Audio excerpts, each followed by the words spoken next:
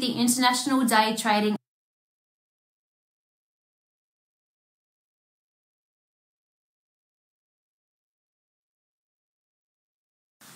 Hey there, my name is Danny and I'm one of the trading and mindset coaches with the International Day Trading Academy based in Australia, otherwise known as IDTA. So in this video, I will be going over why price action in your trading charts just seems to stop at what appears to be hidden or invisible brick walls. Price doesn't seem to correlate to common support or resistance levels or maybe even trend lines that you've drawn. It just seems to be something that is causing the market you're trading to just stop or not be able to break through a particular price level and you just can't figure out why. And also, when a market is trending in either direction, we at the Academy trade both up and down, so it's relevant what the market's doing, where it's going that day. So when it's trending, I'll be sharing you with why the market, the whole market, reverses at a certain point as well. Essentially allowing you to potentially pick the top or the bottom of the market. So if you're new to trading and still getting your head around it, or you've been trading a while and still can't figure out the seemingly invisible brick walls, then this video is for you. So these invisible brick walls are often related to what's called Fibonacci levels. And there are actually quite a lot of different types of Fibonacci. We call them fibs. However, in this video, I'll be introducing you to two different types. Fibonacci retracements, which gives you a guide to where the price may be retracing to, and Fibonacci extensions that tell you where a price may extend up or down, which can allow you to potentially pick the bottom or top of trends. So I'll give you the examples of the most common retracement and extension levels as well. So, understanding and applying the Fibonacci ratios for your trading is a very powerful tool for your trading skill set. So in this video, we will first understand the basics of Fibonacci. What is it? And then I'll give you a couple of practical examples of how I use Fibonacci in my trading. Before we start, be sure to hit that like button and subscribe to our channel so that you don't miss any of our new videos. Okay, so let's get into it. First of all, we need to understand what Fibonacci ratios are. Now, I am not a maths expert by any means, but what I do know is that Fibonacci ratios originate from the Fibonacci number series. Now, the reason why these number series are so important is because they are seen in many different aspects of life and the universe such as why a snail shell looks the way it does, why petals on flowers are so perfectly formed, and also the shape of our faces and our body are all in some way associated with Fibonacci. It's the magical mathematical algorithm behind the structure of how most things in the universe, life, are created. Okay, let's go into the charts. Okay, so let's understand how we can apply the Fibonacci numbers in our trading. So if you've been trading for a while, or even if you're new to trading, you'd have already noticed that the price of any chart or market does not move in a straight line, okay? It kind of zigzags up and down. And usually when price makes a move, it'll have some kind of pullback. For instance, move up, pull back. Okay, so as traders, we want to have an idea of where the pullback may potentially retrace to, hence the term Fibonacci retracement.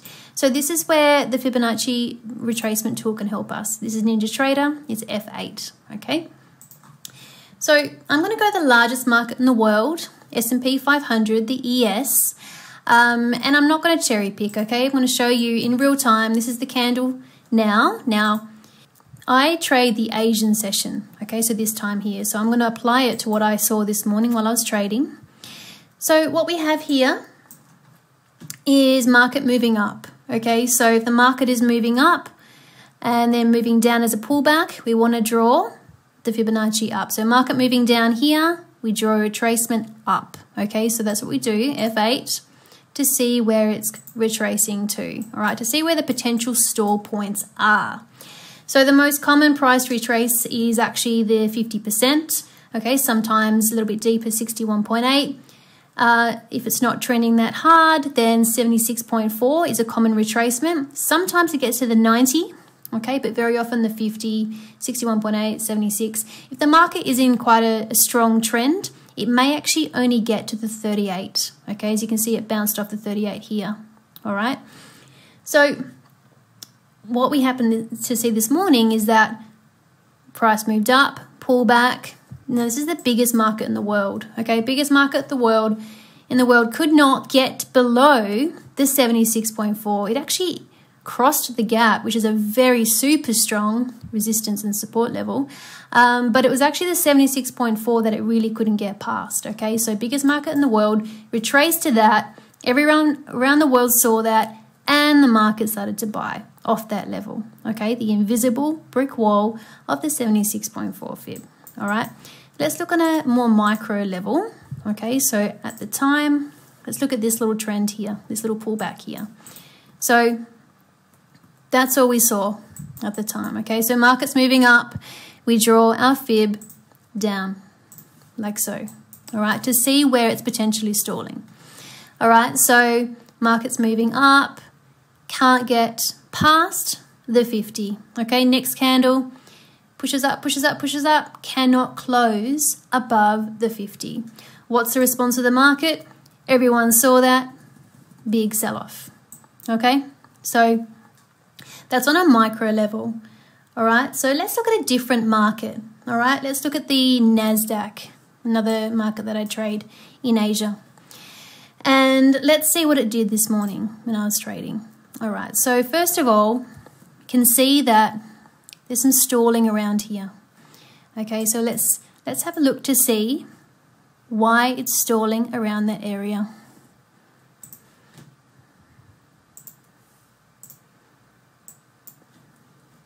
Stalls here, can't get past the 50 and the 61.8. And here, again, the 76, okay? It kept banging against the 76. Could not, could not get past it, couldn't close above it pretty much, so the market sold off, okay? That's a 15 minute chart. Delete that. All right, so even here as well, you can see there's some stalling points there. What's it stalling? against. Look at that, the 50 fib, all right? Couldn't get past the 50 fib. Now this is not a brick wall on my chart, it's an invisible brick wall, but I just happened to learn how to use fibs really well. So 50 fib, all right? Now, fibs are really quite subjective. So we just need to figure out what the vast majority of traders around the world are thinking. Okay, so sometimes you draw on the leg, most recent leg, and sometimes you draw it on the stair step. So most recent leg is that one, stair step is that. Now it's kind of respecting it, kind of not. So we're thinking, you know what? I think most traders around the world are using this leg here, and they are. Bang, bang, bang, bang, bang. Okay. All right. Let's go to an even larger time frame. Let's go to the four hour. Let's see what it's doing there. All right. So where can we draw a fib here? Just actually going to give more days. So let's look at this trend up here. Let's see why it stopped there. All right, so let me make this bigger for you.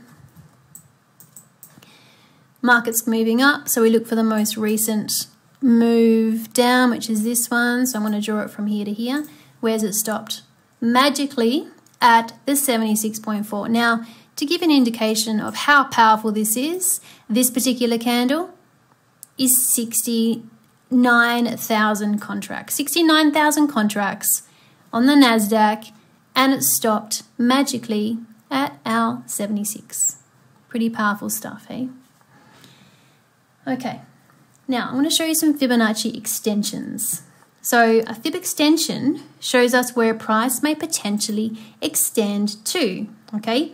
Now the most common extension levels are the 100%, 133, 141. Um, if it's a really strong trend, it may often at the 161.8. I'll show you what I'm talking about.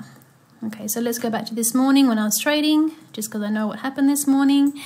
And Let's do an extension on this here. Why did the price stop there? So let's have a look. Look at that. Like magic. What did I say? 133141. push down, 133, 141, bang, bang, bang, bang, and the market started to buy, okay? Like magic. So let's go to a larger time frame to see if it works on those as well. Hmm, let's go to, let's go like all the way up to a weekly. Okay, here we go. Let's look for a nice stair step. Market's been a little bit range bound, not trending nicely, so let's find a nice trend. Here we go. Start of the trend is up here somewhere, isn't it? So let's go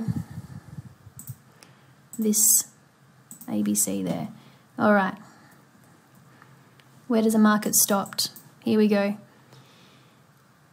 233 bounced off that. Again, couldn't really close below it. It did get below it, but where does it stop? At the 300 fib extension, almost like magic, this invisible brick wall. So let's have a look how many contracts. A lot, a lot of contracts. And it stops pretty much at the 300 fib extension. So, you know what? I'm still blown away by how this all works, how markets this big can stop at seemingly invisible brick walls. It's really quite incredible. So that's how Fibonacci levels work. If you have any questions, please leave them down in the comments. Now, if you've been a little bit intrigued by this video and you would love to learn more, then you can register for the next free trading class and the link is available below.